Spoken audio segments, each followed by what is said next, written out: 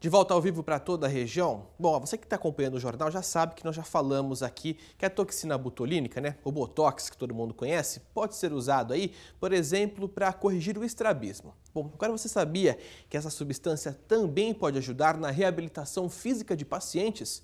Pois é, é o que a Carla Esquisato mostra para gente.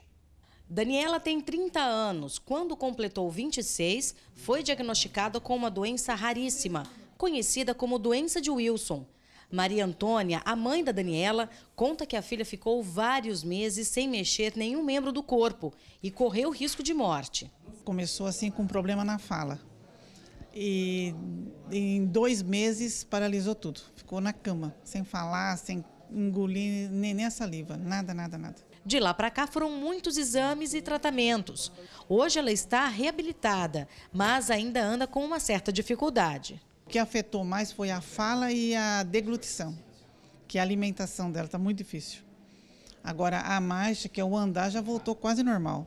A doença de Wilson é hereditária, onde a principal característica é o acúmulo tóxico de cobre nos tecidos, principalmente cérebro e fígado, o que leva o portador a manifestar sintomas neuropsiquiátricos. Os membros também ficam comprometidos. Mas o que muita gente não sabe é que a toxina botulínica pode ajudar esses pacientes a voltar a ter os movimentos. A aplicação é feita através de injeção diretamente no músculo afetado, o que garante efeito mais localizado e reduz a incidência de efeitos colaterais. Então vamos melhorar função, vai deambular melhor, vai conseguir manusear as coisas melhor.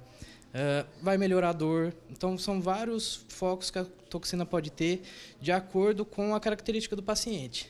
O médico explica que não existe um período determinado para o tratamento. Tudo vai depender do resultado em cada paciente.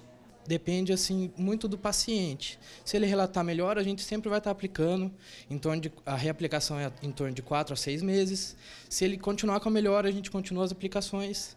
A partir do momento que ele já está reabilitado, não está vendo mais melhora, ou teve alguma reação adversa, a gente interrompe o tratamento. O método, além da estética, está sendo usado para tratar várias patologias. Tanto que o assunto foi discutido durante um congresso brasileiro em Rio Preto. Toxina botulínica, que na verdade é, um, é uma toxina, ela enfraquece o corpo. Uma doença, quando ela está no corpo todo, chama botulismo mas quando a gente aplica num pedaço do corpo, a gente enfraquece aquela região para poder movimentar melhor. Se é, por exemplo, na perna, e a pessoa estava com a perna muito dura, a gente consegue fazer que a pessoa ande com um pouquinho mais de leveza e fica mais funcional.